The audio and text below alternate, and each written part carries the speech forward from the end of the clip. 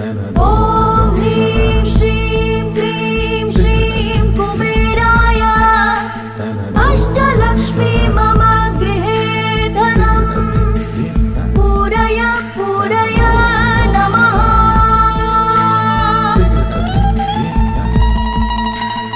ॐ म्रीं श्रीं क्रीं श्रीं कुबेराय